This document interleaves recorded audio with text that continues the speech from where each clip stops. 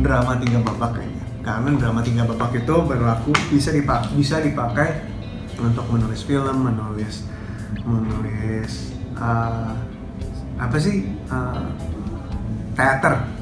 Menulis teater dan menulis novel juga. Film novel teater itu berguna sekali drama tiga babak jadi pelajari itu dengan baik-baik.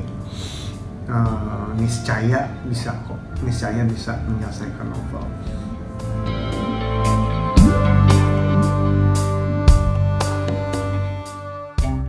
pernah mulai menulis novel kalau belum tahu endingnya gimana. Lu harus tahu endingnya gimana. Jadi lu nulisnya konvergen tahu konvergen ya? Maksudnya lu ngarah gitu ke situ. Kalau jangan jangan mulai nulis kalau lu belum tahu jagoannya bakal mati apa enggak bakal endingnya bakal gimana jangan.